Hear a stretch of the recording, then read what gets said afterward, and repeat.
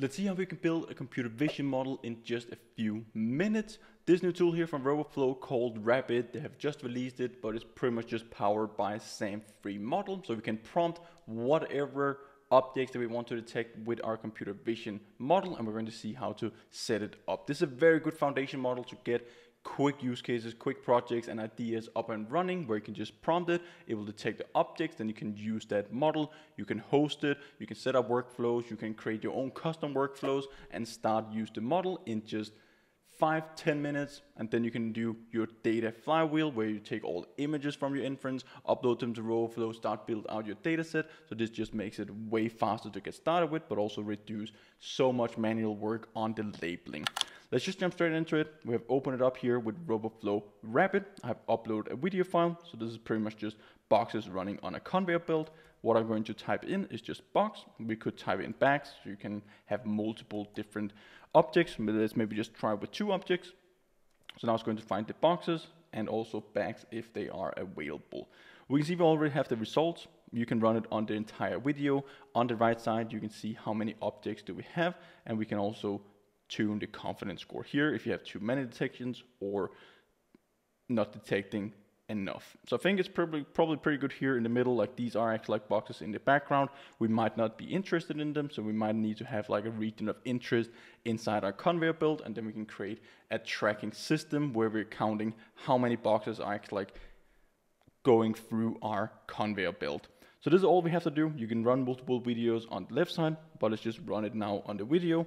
It's going to find the objects, track them throughout the whole video sequence here, and we can deploy this model directly. We'll get an endpoint that can be tested with Python, curl, whatever that you're using.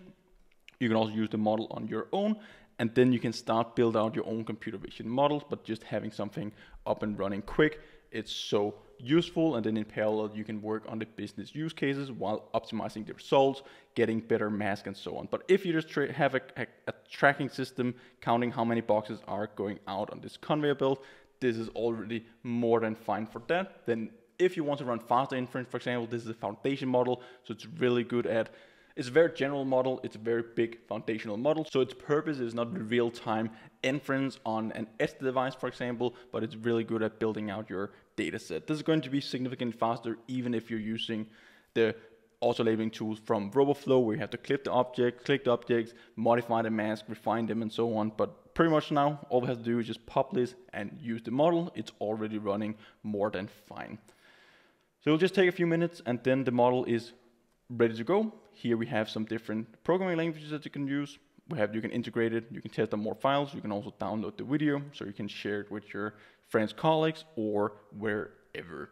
So they have examples for Python, JavaScript, Fetch. If you just want to build it into your web app, here you could have like your ML workflows, the automation pipelines built out in Python. It could also just be yeah, that you have your web app backend system built out in Python. So all we have to do is just from the Inference SDK from RoboFlow, we have the Inference HTTP client we send a request to, we get the response back. All we need is just the URL, our API key, and then we have our workspace workflow, and then we just need to pass in our image. So this is pretty easy. You can just drop this into your code editor. We have the JavaScript fetch, very, very similar as well. And here you just have for testing, scripting, automation, just testing out if the endpoint is working. We just have our curl request. Just need to swap out the image URL and that's pretty much it. So let's go over here to the left. You can open up the workflows from RoboFlow where you can build out your own custom workflows. That's also a pretty cool one. I have videos covering everything in detail for that, like how we can set up our line crossing stuff, all different types of workflows, pretty much cover everything in here. So you can add a model that you have deployed, you can deploy it on serverless API, hosted API, your dedic own dedicated deployment, your own local device, then you can download the Inference app and it can just run on your local system and then you do request and responses back. Pretty much just API calls to your endpoint on your local machine. So once we're inside the workflow, we can just start with a template. So you can have like SAM free with prompts if you just want to use a standard one, but a very cool use case is just the active learning pipeline, which is pretty much just one of the best ones that I have been using or also just for this specific use case. So what you would do, you would go in here, you will wait on the model to be connected and then you can hook it up. So now we have a workflow up and running with our same model. We have the bounding box visualization. It's going to upload the images to RoboFlow. We have the label visualizations. All we have to do is just test our workflow. This is the result that we get out if we just upload a new image or video. So you can just drop it in here. You can connect all these other different sources. We get the response. We also have the JSON response that you can extract the results from. So you can just hit run, it will go through everything. You can also hit deploy, and then you can start work with it in your own environment. You can integrate into your app or website, run it on your computer or your own local device.